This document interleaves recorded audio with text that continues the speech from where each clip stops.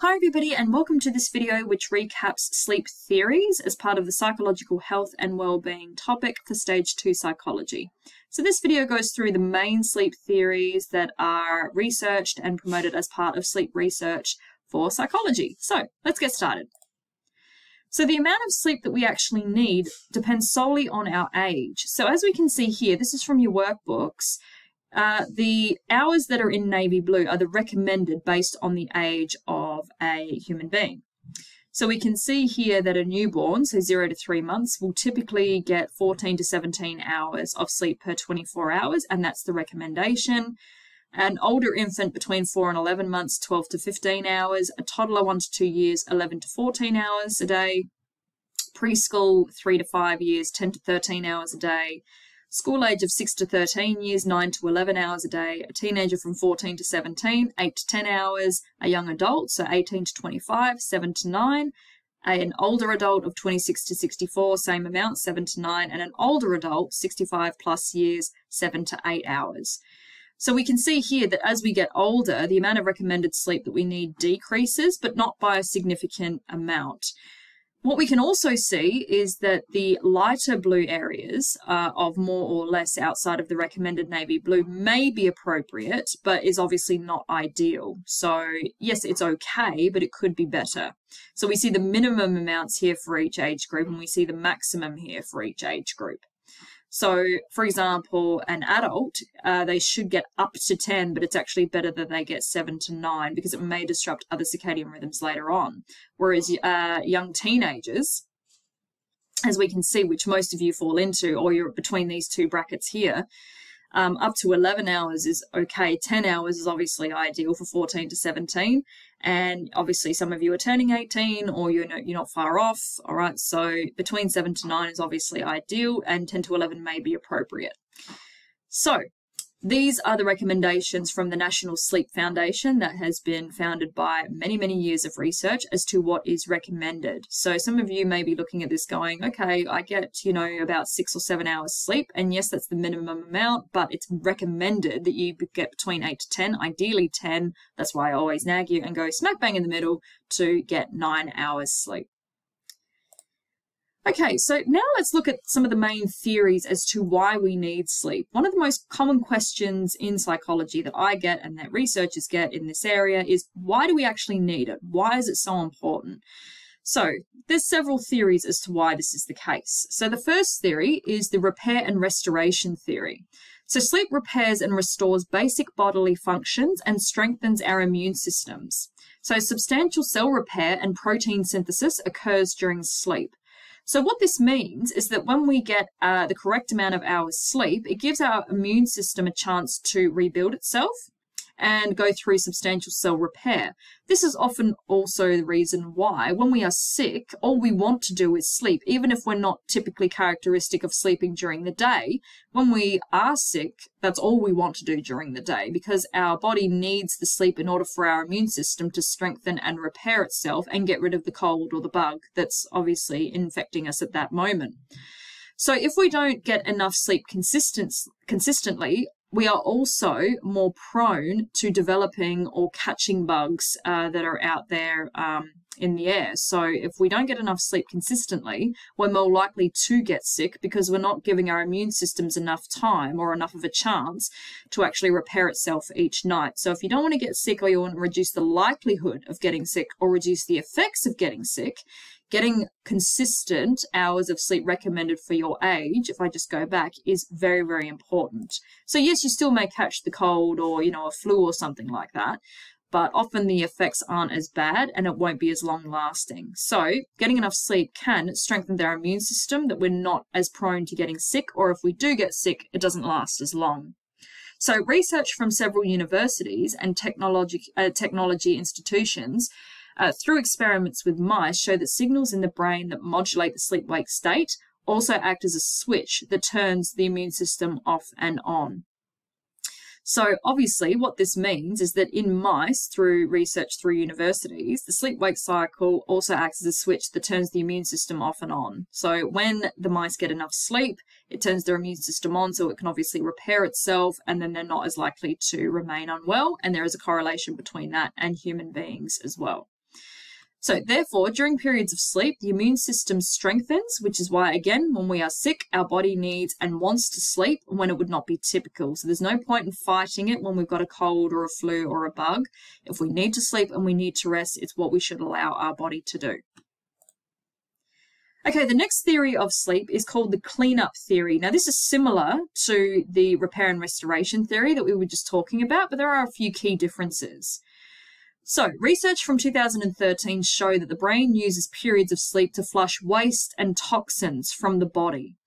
So, the brain has two functional states. It's obviously awake and then alert, or asleep and cleaning up. So, this cleanup works like a waste disposal system, clearing out waste products that brain cells uh, generate. So, not only are we obviously repairing and strengthening our immune system as per the repair and restoration theory, we're also doing a clean out or a flush out when we are asleep as well. So, it works like a filtration system and a waste disposal system, clearing out waste products from our brain. Uh, and sleep obviously allows that process to happen. Also, it reduces and flushes waste from toxins from our muscles. So often when we don't get enough sleep, we wake up feeling very achy and very sensitive to things like heat or cold, or our skin feels more sensitive, or we've got aching limbs and things like that. That is because we haven't allowed our bodies and brains enough time in order to flush the waste out and the toxins out from our system. So again, if we're sleep deprived, that's why we feel achy and just overall very, very flat because the cleanup has not gone ahead as long as it should have. So, the 2013 research also suggests that issues with clearing out the brain waste might be a factor in the development of certain brain disorders, such as dementia, Parkinson's disease, and Alzheimer's.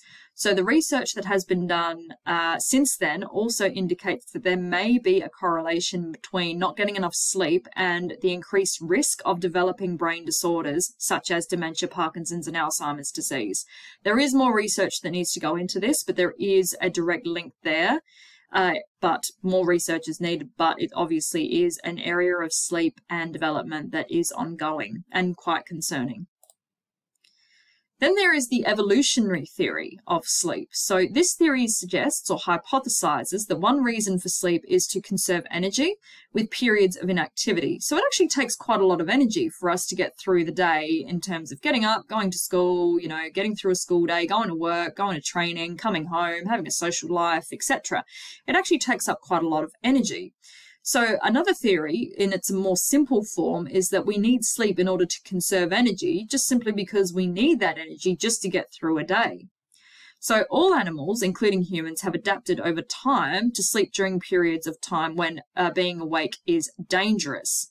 So, humans are most productive during the day and are able to rest at night. So, in prehistoric times, it was harder to get food. All right, so going way back to caveman days. So, by sleeping for some of the day, so having a nap in the middle of the day, humans could conserve energy and keep themselves safe and not be as prone to getting targeted by predators. So that's why it's thought that in the afternoon we often have that lull where we lose our level of awareness a little bit. So in lessons five and six mainly. So in, you know, from 2 p.m. to 4 p.m., we often feel very, very sleepy. It's thought that links back to this theory here of uh, the evolutionary theory in prehistoric times, it was harder to get food. So we would sleep instead, or humans would sleep instead to conserve some energy. So they would then go out and forage and hunt later in the day when it was safer and when we had more energy. So that feeling of sleepiness that often we all feel uh, at that time of day between 2 and 4 p.m. is linked back to this theory here. Now, predatory animals such as lions and bears can sleep 12 to 15 hours a day because there is just a lack of threat to them. Whereas other animals with many predators, and they are the prey, can only sleep in short bursts because obviously it depends on it for their survival. So that's why lions and bears who don't have a predator um, can sleep for as long as they can because there's no threat to their life or it's very unlikely. Whereas other animals with many predators can only sleep in short bursts, otherwise, they may get killed or die uh, by their predators. So, as we can see here, all right, this is the average daily sleep totals for different mammals and animals. I know that's cut off at the bottom, but what it says is large animals such as elephants need to consume a lot of calories in order to obtain the energy that they need to live, whereas small animals like bats and possums need fewer waking hours to survive. So again, these animals over time, over evolution, have adapted to the amount of sleep that they need to ensure their survival. So let's go through this. So a giraffe on average 1.9 hours a day, an elephant 3.5 hours a day, human obviously 8 hours, that's human adult, chimpanzee 9.7, uh, 10.4 hours for a dolphin, 11.4 hours for a rabbit, a gerbil 13.1, 15.8 hours for a tiger, and for a brown bat 19.9 hours. So the last theory is the information consolidation theory. So this is quite important and one of the main theories that's uh, being very heavily researched, especially recently. So we know that REM sleep plays a vital role in memory retention and consolidation and the removal of unwanted information and storage of important data from memory. So I like to think of memory or compare it to like a filing cabinet. So when we get enough sleep, it means that we're obviously getting enough REM sleep because we know that REM sleep is at the end of a sleep cycle. So that typically means we are completing our sleep cycles as we should. So by getting enough REM sleep, what it does is it files our memories away in our filing cabinet, which is our memory, in an organized fashion so we can recall them later. So by getting enough sleep, it organizes our memory filing cabinet that we can easily recall the files. It puts them in the correct order, in alphabetical order, labels them, and so it's all organized. And if we need those files or memories later, it's easy to recall them. So sleep ensures the consolidation and sorting of important information into short and long-term memory. And this process also takes place during slow wave sleep. So that's often why as well, if we don't get enough slow wave sleep, our memory is badly affected, especially in the short term. So several researchers have concluded that a lack of sleep has a serious impact on the ability to recall and remember information. So that's obviously very, very relevant to you guys because being in year 12, and gumming up to exams and so on, sleep is vital for you to remember and recall information later, which is why I nag you all the time about getting enough sleep and obviously for your own well-being as well. So I hope you found that video useful. Those are the main sleep theories as part of this course and as part of stage two psychology. As always, any questions, let me know.